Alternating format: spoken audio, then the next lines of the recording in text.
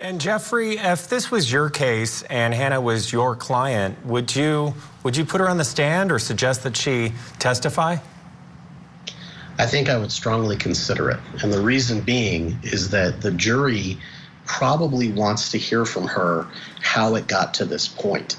because there's this larger picture of this dysfunctional movie set and what part she played in it and what pressures she was under that caused her to make these mistakes. And if you want to point the finger at different people on the set, that's all well and good, but the best emotional core for it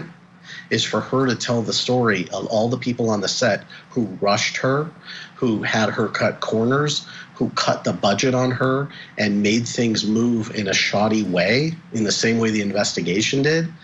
that made her operate in a way that she most normally would not. That she was somebody who was qualified for this job, and that the real reason that the armorer didn't operate in a way that was up to snuff and created this dangerous situation was the movie set itself and the other people on the set that put the pressures on her and the time constraints that caused her to operate the way she did.